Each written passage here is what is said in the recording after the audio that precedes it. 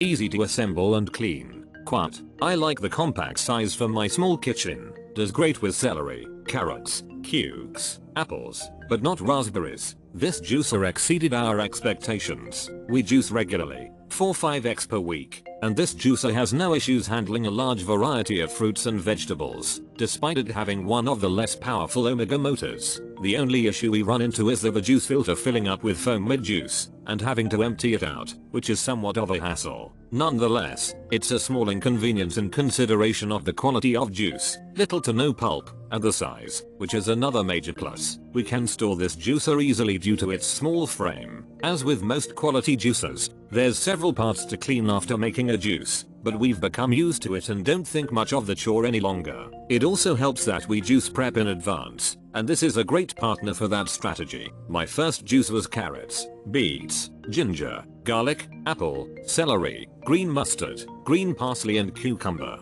No problems at all. No backing up. No need to use a reverse button. Easy to assemble. I had watched the movie on YouTube about this machine and one comparing this one with 8006 easy to clean. Powerful motor, 200 watts. For best smooth and safe performance I cut my veggies to smaller pieces, which I do not mind at all. Less countertop space. I did not taste really any pulp and pulp is good too as has some fiber. Perfect machine for me. Glad did not get bigger one or other brand.